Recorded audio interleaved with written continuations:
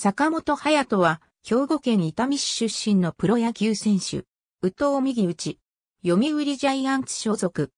2016年にセントラルリーグの遊撃手としては、史上初となる首位打者を獲得。2020年には、右打者としては最年少となる31歳10ヶ月で通算2000本安打を達成した。小学1年生から野球を始める。今陽里タイガースでは投手として保守の田中正宏とバッテリーを組んでいた。伊丹市立松崎中学校時代はリトルシニアの伊丹シニアに所属。八戸市の八戸学院光聖高等学校に進学し、1年生時の秋からショートのレギュラーの座をつかみ、第78回選抜高等学校野球大会にも出場。チームは1回戦で敗退したものの、自身は3安打を記録。高校通算39本塁打。2006年9月25日に行われた高校生ドラフト会議にて、読売ジャイアンツが1巡目で、どの上正しりを抽選で外したことによる再指名で坂本の交渉権が確定した。11月5日に契約金8000万、年俸650万で契約。入団2年目まで付けた背番号の61は200、6年の高校生、ドラフト1くらいに由来している。2007年、2軍で77試合に出場して302打数81、安打、5本塁打、28打点、打率、268の成績を残した。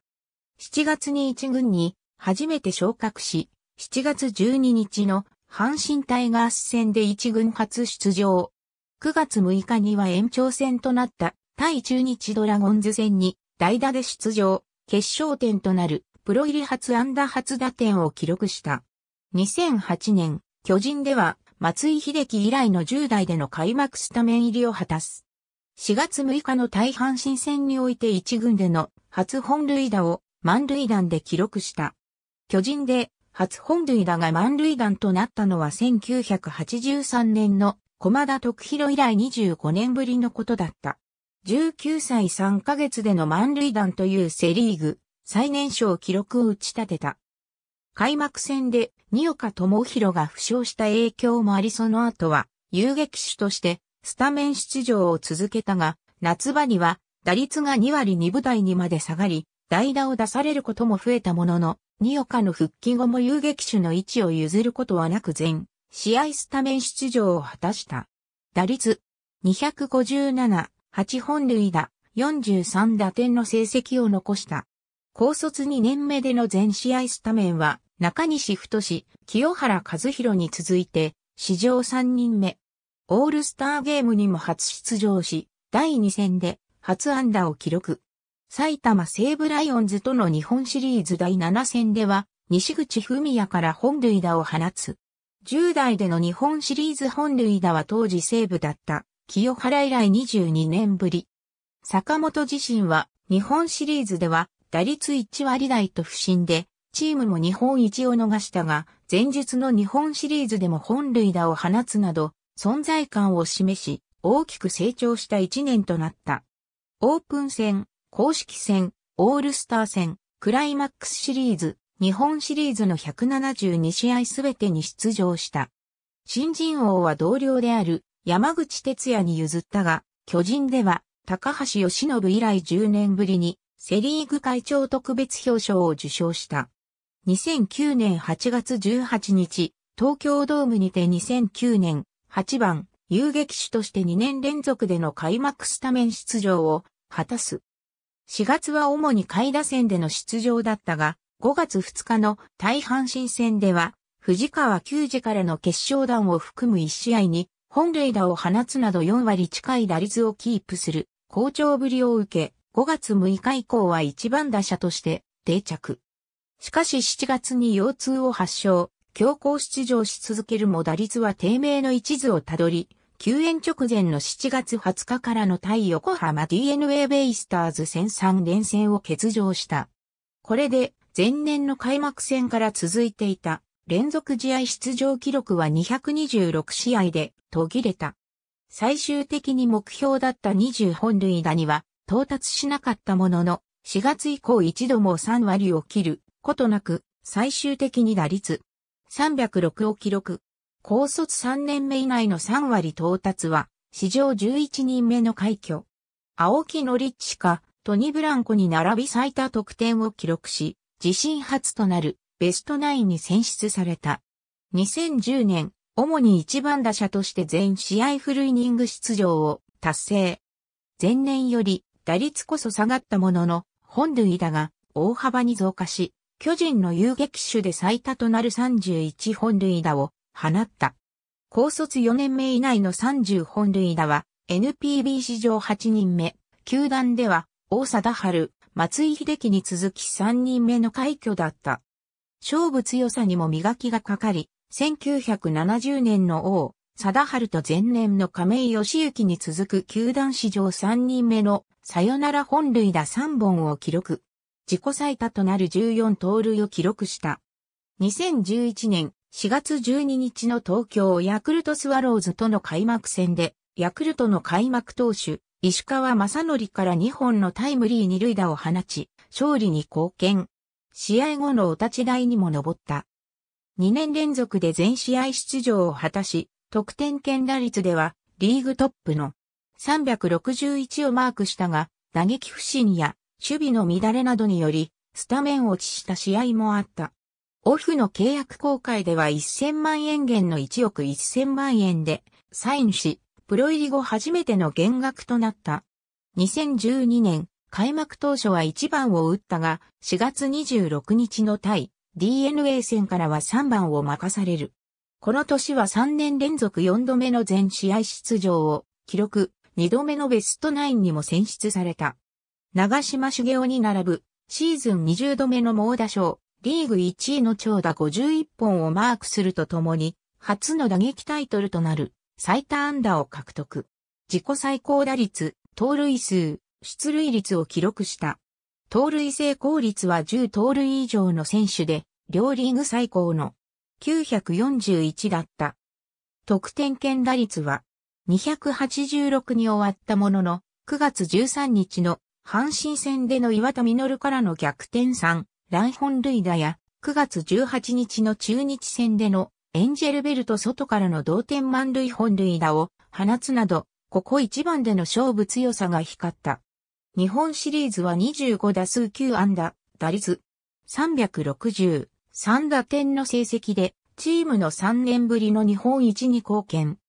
その後行われたアジアシリーズでも予選ラウンドから決勝戦に至るまでの3試合で13、打数4安打、打率308、4打点の成績を収め、アジアシリーズ MVP も獲得した。オフの11月6日に、侍ジャパンマッチ2012日本代表 VS キューバ代表の日本代表に選出された。12月4日には第3回ワールドベースボールクラシックの日本代表候補選手に選出された。2013年2013年はシーズン開幕前の2月20日に第3回 WBC の日本代表に選出された。結果は25打数6安打。シーズンでは4月19日の広島戦で球団新記録となる4年連続の満塁本塁打を放った。9月6日の阪神戦では故障の影響もあり、初めて一塁一種の守備についた。シーズン規定打席到達時点で打率303を記録していたが、最終的には265に止まった。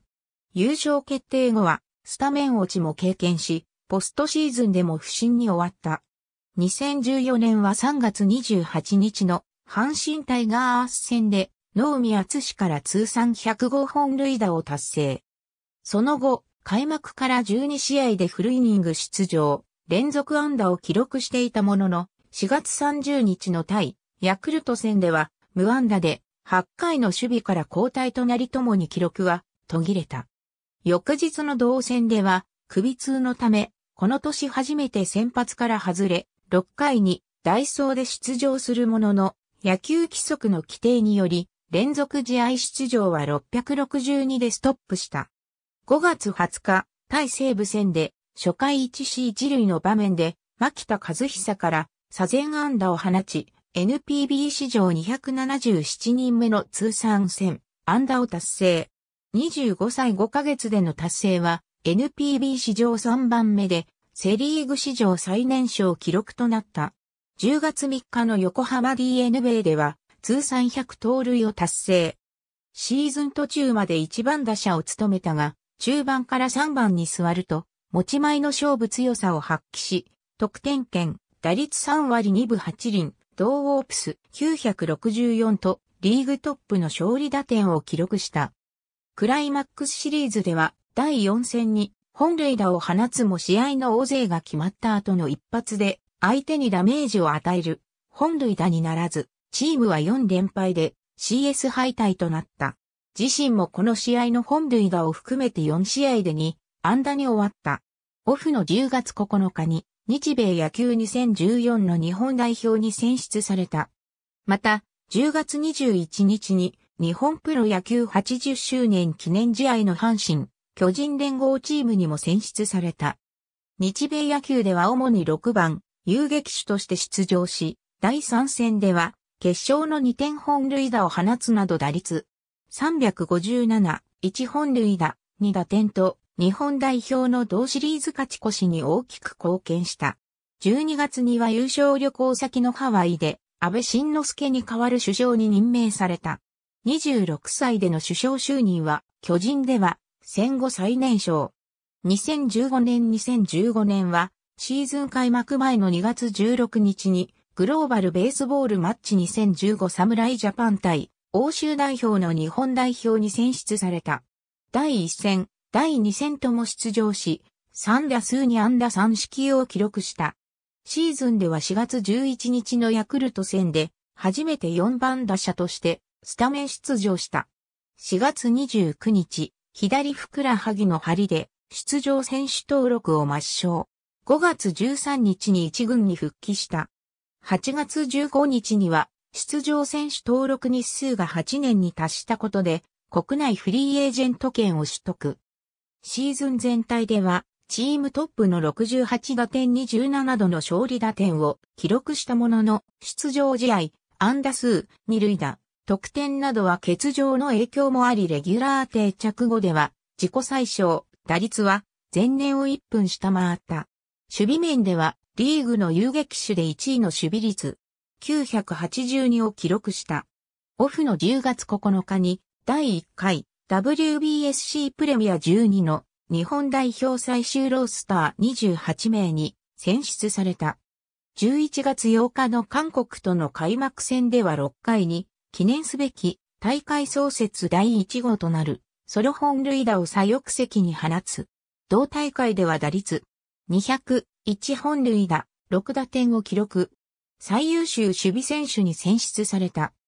2016年は過去3年間の成績に危機感を持ち、前年オフのプレミア12、そして2月に行われた侍ジャパン強化試合の練習中に、筒香義友や中田翔などから助言を求める。打撃フォームの改造に取り組み、スイングの軌道や体重移動を修正してシーズンに臨んだ。4月28日の大阪神戦では3打数連続での本塁打を記録するなど開幕から好調をキープ。足の怪我でスタメンを外れることもあったが、打率344、出塁率433で自身初の首位打者と最高出塁率のタイトルを手にした。遊撃手として首位打者になるのはセリーグ史上初の快挙。長打も増え、6年ぶりの20本塁打となる23本の本塁打を放った。オフの10月18日に、侍ジャパン野球オランダ代表野球メキシコ代表強化試合の日本代表に選出された。11月8日には自身初となるゴールデングラブ賞を受賞した。2017年はシーズン開幕前の3月に開催された第4回 WBC の日本代表に選出された。同大会では打率4割超えを記録した。シーズンでは3月31日対中日との開幕戦で大野雄大から右方向へのホームランを打つと、7月9日の阪神戦で NPB 通算1500安打を達成。1354試合目での到達は、巨人では、川上哲司の1241試合、長島茂雄の1273試合に次ぐ、歴代3位のスピード到達。28歳6ヶ月での到達は、榎本木八の27歳9ヶ月に次ぐ、史上2番目の年少記録だった。7月までは3割台中盤をキープしていたものの8月以降は失速し、最終成績は前年を下回った。守備成績は向上を見せ、失策数は自己最小の9個とシーズン全体で初めて1桁に、とどめ、遊撃手としてリーグ1位となる守備率987を記録2年連続のゴールデングラブ賞を受賞した。2018年は4月25日の中日戦で史上70人目となる通算302塁打を達成。7月16日に行われた阪神戦で史上191人目となる通算1500試合出場を達成した。しかしその試合で脇腹を痛め、2015年4月以来3年ぶりに出場選手登録を抹消され1ヶ月以上戦列を離れた。8月25日に34試合ぶりに1番遊撃手として復帰すると、そこから11試合連続安打を記録するなど、クライマックスシリーズ進出争いをするチームを牽引し、キャリアハイとなる打率345、約1ヶ月の欠場がありながら、自身7度目となるシーズン150安打以上となる152安打を記録した。遊撃手として340以上を2度記録するのは NPB 史上初の快挙。出場試合数はレギュラー定着後最小となる109試合に終わったが、打率が評価され2年ぶり4度目となるベストナインを受賞した。2年連続でシーズン失策数は9個と1桁だったものの、2年連続で受賞中だったゴールデングラブ賞は6票差で田中博介に譲った。これについて坂本は今年においては田中の方がちゃんと試合数も出ていますし、見ていても上手だなと思ったと称えた。12月11日、5年契約を結んだ。2021年までの3年間は年俸5億円の固定で、4年目以降は変動制となる契約である。坂本は3年間で良ければ上げてもらえる。悪ければ下げてもらう。トータルで見て欲しかった。と語り、ジャイアンツで最後までプレーしたい気持ちを今は持っている。31歳になる年から5年なので、なんとなく理解してもらえるんじゃないですか。と事実上の生涯ジャイアンツを宣言した。年俸5億円は遊撃手としては球界歴代最高額となった。2019年は FA でマルカコーが加入したことを受け、攻撃型の2番打者として固定される。5月1日の対中日戦で山井大輔から第8号本塁打を放ち、NPB における令和第1号本塁打を記録。ホームランボールとバットがサイン付きで野球殿堂博物館に寄贈され、即日展示された。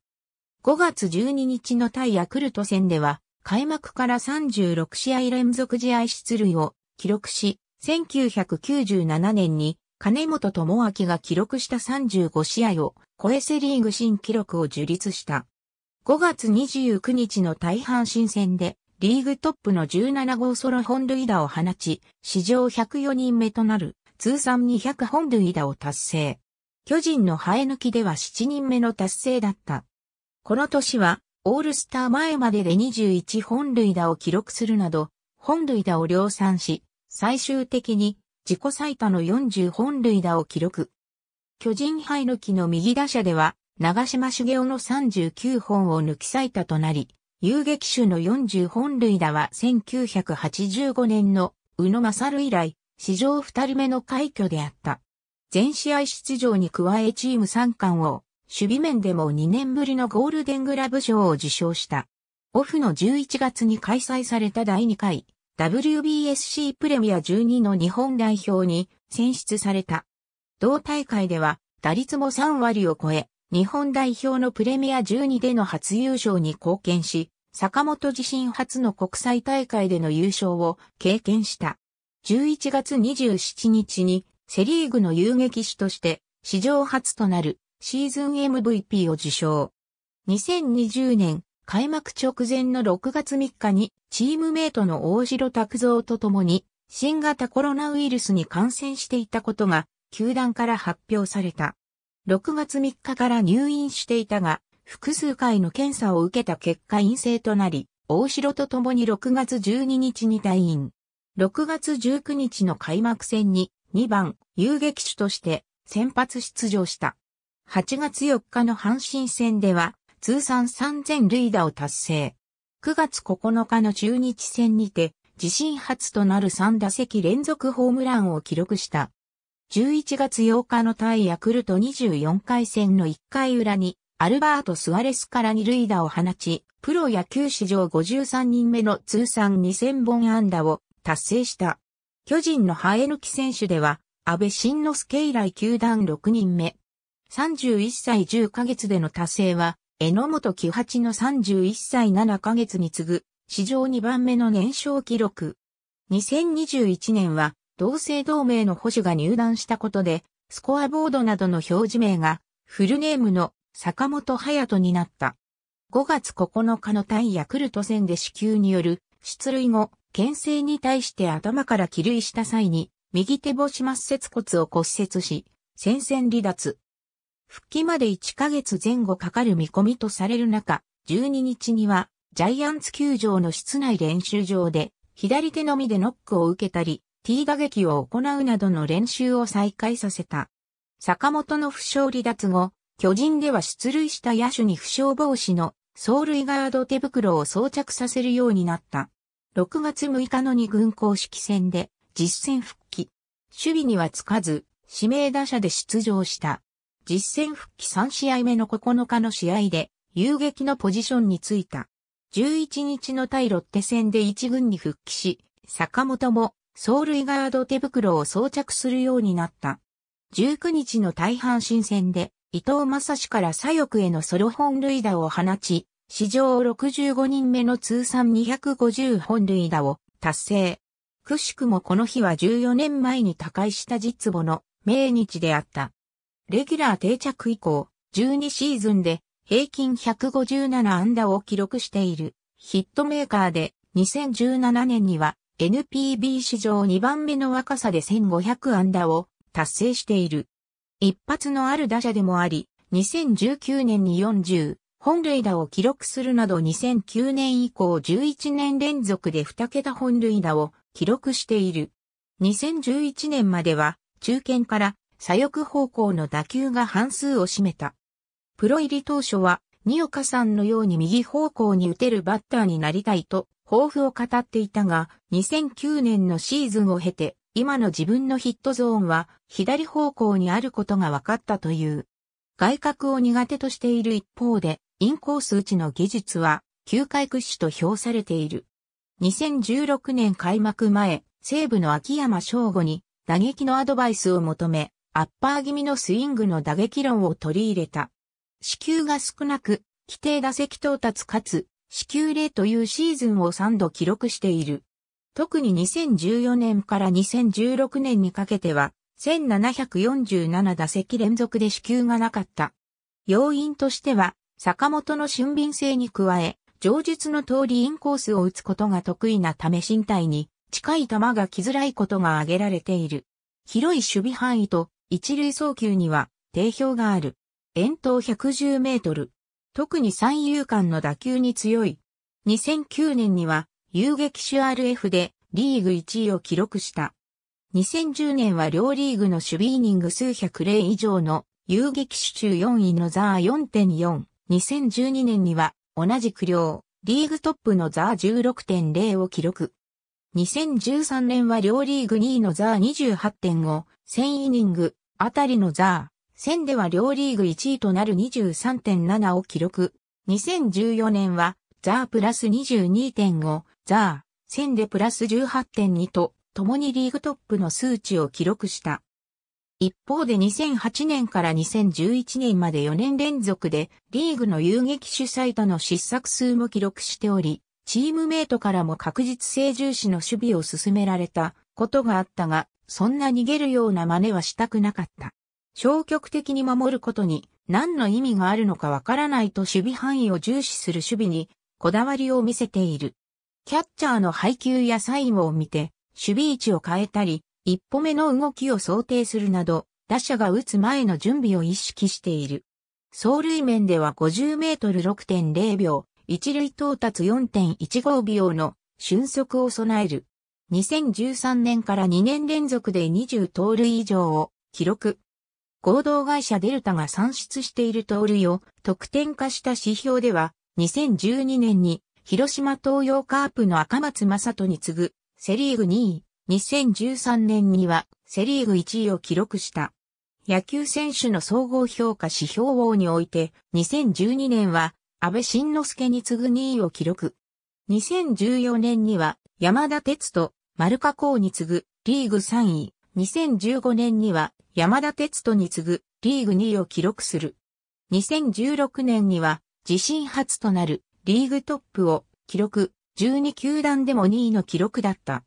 2015年に開催された 2015WBSC プレミア12では最優秀守備賞を獲得した。もともと左利きでペンや箸を持つ手は今でも左手。右利きの兄のグローブを使って野球を始めたことから右投げになった。